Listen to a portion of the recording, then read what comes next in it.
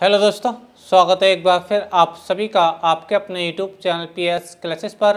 तो दोस्तों, आज के इस वीडियो लेक्चर में हम पढ़ेंगे अंता केंद्रित एकक कोष्टिका में संकलन क्षमता का मान कितना आता है, उसे किस प्रकार ज्ञात किया जाता है। जी दोस्तों, आज हम पढ़ेंगे किसी बॉडी सेंटर्ड यूनिट सेल में पैकिंग एफिशिएंसी की वैल्यू किस प्रकार फाइंड की जाती है, उसका मान कितना आता है। तो चलिए शुरुआत करते हैं वीडियो लेक्चर की। इस टाइम जैसे कि आप स्क्रीन पर देख पा रहे होंगे कि मैंने एक अंता केंद्रित एक कोष्टिका अर्थात तो बॉडी सेंटर्ड यूनिट सेल आपको स्क्रीन पर बना रखा है। इसको आप कैसे समझेंगे कि ये बॉडी सेंटर्ड यूनिट सेल है बच्चों? इसमें होता है ये बच्चों कि एक पार्टिकल जो होता है, एक पार्टिकल आठों कोनों के अलावा कोष्टिका के सेंटर पर रहता है, कहाँ रहता है बच्चों? सेंटर पर। यानी ये जो आप ब्लैक कलर का जो आप स्पेरिकल टाइप के फिगर देख पा रहे होंगे, ठीक है? ये जो इसका अभी अभी करण बच्चों, ये कोष्टिका के किसी फेस पर नहीं है। ना ही किसी कॉर्नर पर ना ही इसकी किसी एज पे है। वो कहाँ इसकी?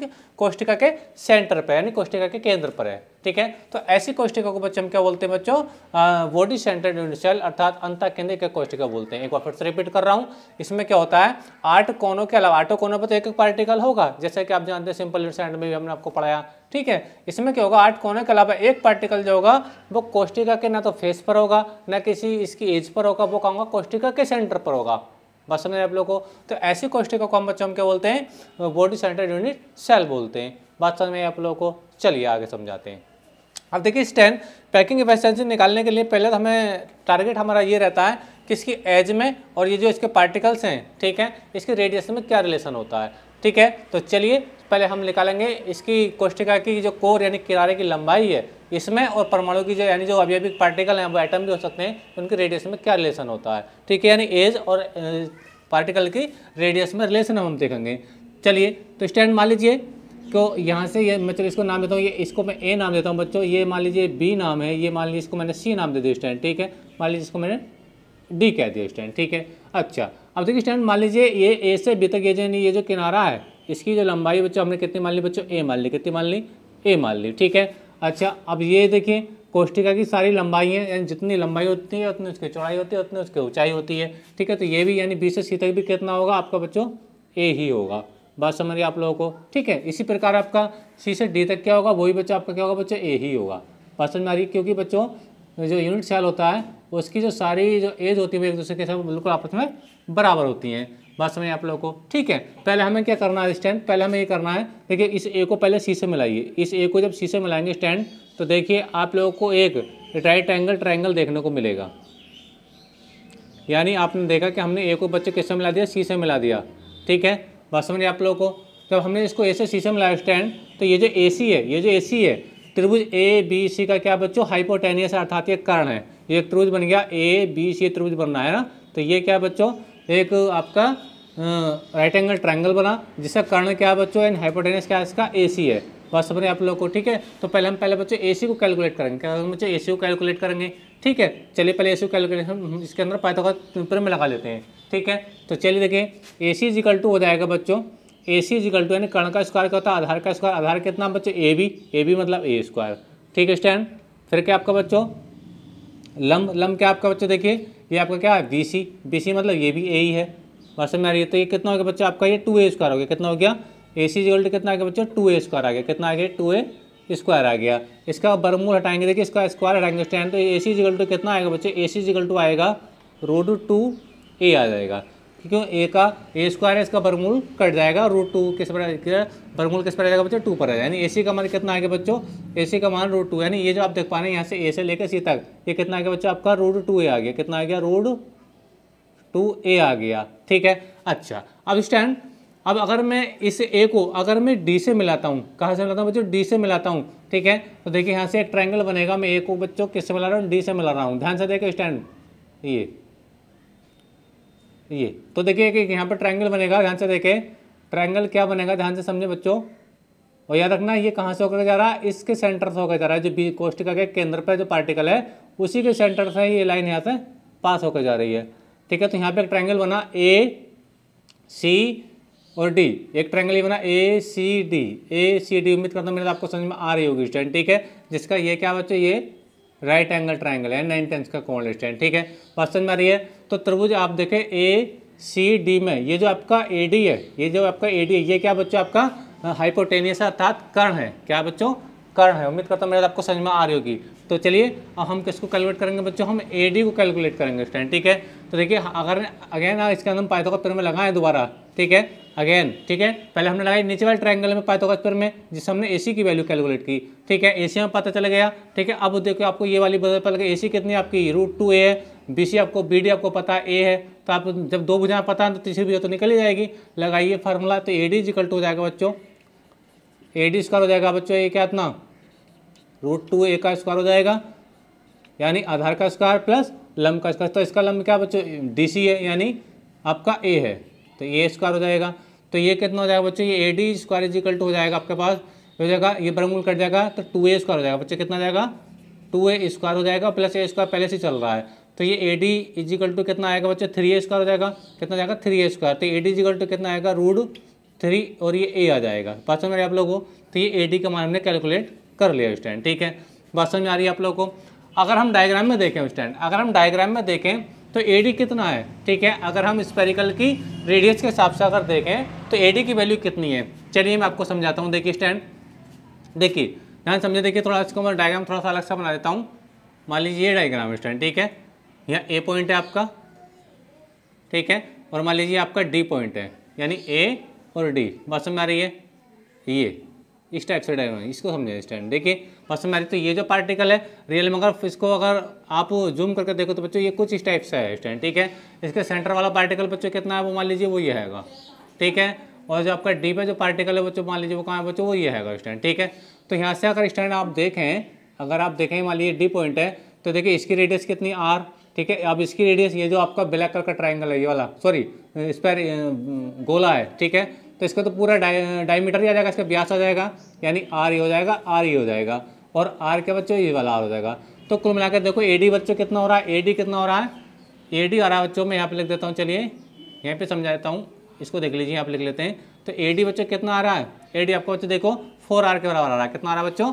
ए डी इक्वल टू कितना आ रहा है? फोर आ रहा है। देखो, एक आर, दो आर, तीन आर, चार चार को जोड़ दोगे तो पूरी वैल्यू कैलकुलेट हो जाएगी।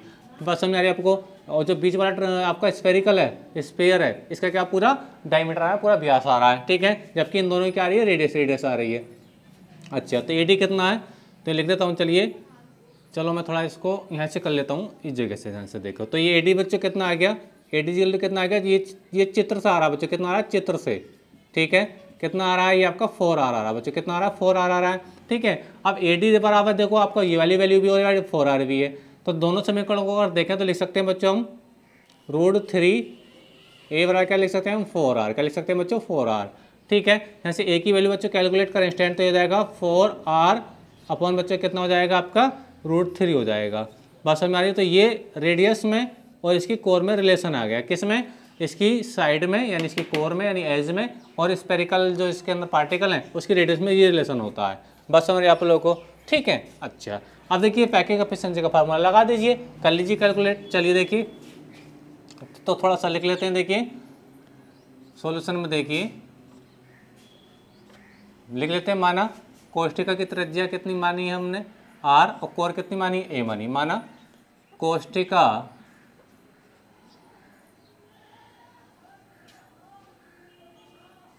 कोष्ठिका की प्रत्येक